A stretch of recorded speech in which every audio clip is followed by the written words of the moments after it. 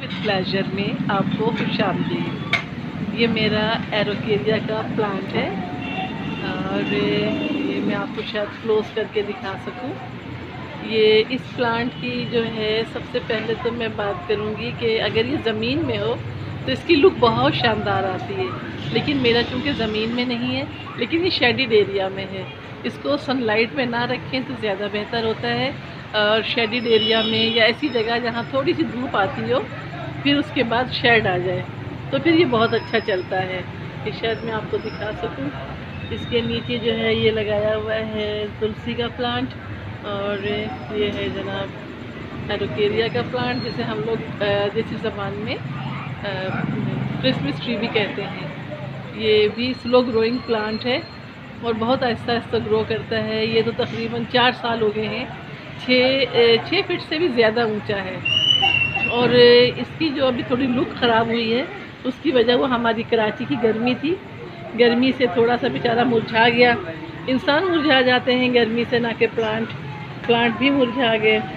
तो इसकी जो है कटिंग से इसको बिल्कुल भी ग्रो नहीं किया जाता। इसके जो है अच्छा इसको मैं सबसे पहले बताऊँ, पानी जो है इसका बहुत ज़रूरी है। अब पानी अभी जो मौसम, ना गर्मी है, ना सर्दी है, बेहतरीन मौसम है, लेकिन फिर भी ना इसको आप एक दिन के गैप से पानी दीजिए।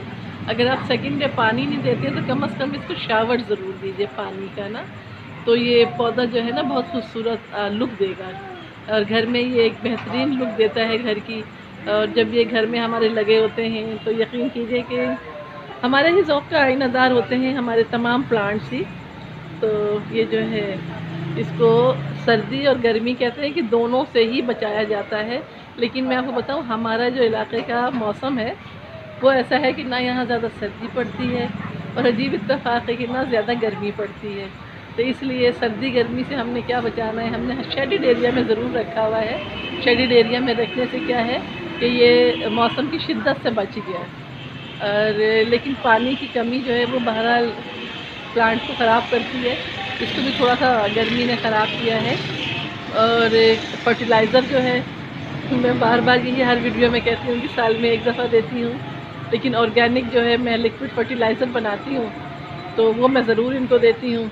जिसकी वजह से मेरे पौधे अल्हम्दुलिल्लाह बहुत अच्छे चल रहे होते हैं। ये देखिए इस प्लांट को। उम्मीद है कि छोटी सी वीडियो आपको अच्छी लगेगी एरोकेरिया प्लांट की, जिसे हम क्रिसमस ट्री कहते हैं। नेक्स्ट वीडियो तक के लिए मैं भी सैयद को इजाज़त दीजिए और अपना बहुत सारा ख्याल रखिएगा। अल्लाह हाफिज़।